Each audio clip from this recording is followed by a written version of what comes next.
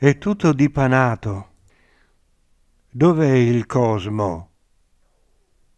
Commento. Il cosmo a cui apparteniamo è tutto dipanato nell'eterno presente.